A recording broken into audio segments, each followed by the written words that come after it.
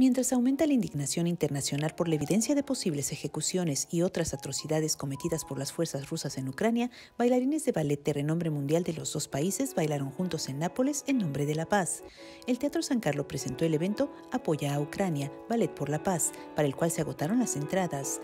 Entre los bailarines se encontraban una bailarina ucraniana que huyó de la guerra en su país y una rusa que abandonó el ballet Bolshoi por la invasión rusa. El espectáculo benéfico del lunes por la noche recaudó fondos para la Cruz Roja y para defender la causa de la paz en Ucrania. El ucraniano Denis Cherechivko y la rusa María Yakovleva abrieron la gala. Entre las estrellas del evento estaba la primera bailarina Olga Smirnova, que dejó el Bolshoi el mes pasado y ahora baila con el Ballet Nacional de Holanda. Otra de las estrellas fue Anastasia Gurskaya, una de las principales bailarinas de la ópera de Kiev que huyó de los combates en Ucrania.